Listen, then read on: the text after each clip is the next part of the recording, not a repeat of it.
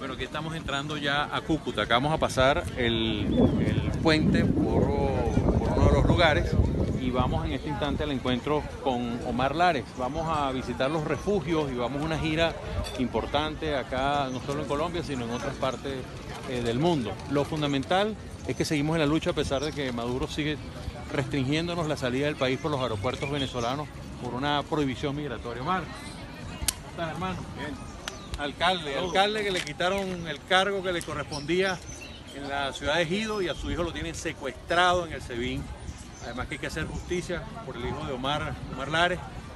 Le quitaron la alcaldía sin más ni más, como, como hace esta gente, arrebata y quita lo que no les corresponde y lo que no es de ellos.